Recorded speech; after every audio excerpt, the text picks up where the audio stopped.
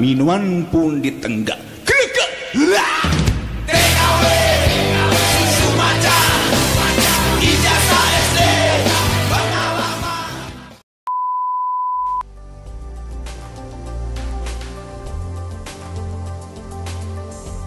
Dilansir dari laman detik.com, Kementerian Komunikasi dan Informatika Kominfo menemukan dua hoak yang meresahkan masyarakat. Di mana kabar itu muncul pasca tsunami yang menerjang pesisir Anyer, Banten dan Lampung pada Sabtu malam. PLT Kepala Biro Humas Kementerian Kominfo Ferdinand Disetu mengatakan, Dua hoak tersebut disebarkan melalui media sosial dan SMS.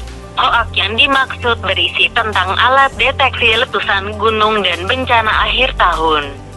Hasil penelusuran Direktorat Pengendalian Direktorat Jenderal Aplikasi Informatika Kementerian Kominfo dengan mesin AIS itu ditemukan usai peristiwa tsunami di pantai barat Provinsi Banten dan Lampung Selatan pada tanggal 22 Desember tahun 2018 pukul 21.27 waktu Indonesia Barat, ujar Ferdinandus dalam keterangan.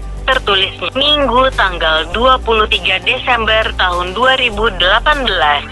Berikut penjelasan dan fakta sebenarnya dari hoax yang tersebar. 1. Hoa, alat deteksi letusan gunung beredar konten di media sosial yang menampilkan sebuah alat di Desa Selat Duda yang disebut dapat mendeteksi letusan gunung dalam kurun waktu 2 jam sebelum meletus. Konten itu dibantah Kepala Pusat Data Informasi dan Humas BNPB, Sutopo Purwonugroho.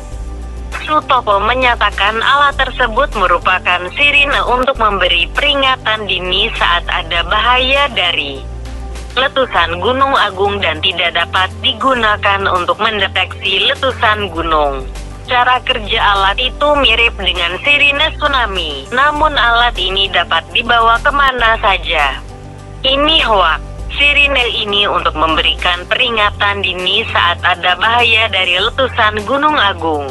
Sirine tidak mampu mendeteksi letusan gunung. 2. Hoa, SMS peringatan bencana akhir tahun beredar SMS dari nomor 081803016426 yang menyampaikan agar warga Indonesia berjaga-jaga mulai tanggal 21 sampai akhir bulan Desember tahun 2018 karena akan terjadi bencana. Dalam pesannya, pengirim mengakui pesan itu disampaikan anggota BMKG.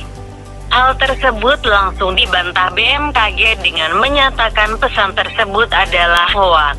Melalui Twitter resmi, BMKG menyebutkan pesan tersebut dikirimkan oleh pihak yang tidak bertanggung jawab. Warga dipersilahkan melanjutkan aktivitasnya seperti biasa sambil tetap mengecek informasi cuaca selama libur Natal dan Tahun Baru. Kementerian Kominfo juga mengimbau agar pengguna internet dan media sosial tidak menyebarkan hoaks atau informasi yang tidak bisa dipertanggungjawabkan kebenarannya. Jika ditemukan informasi yang tidak benar dapat segera melaporkan ke aduan konten.id atau lewat akun Twitter at aduan konten. Pungkas pria yang disapa Nando ini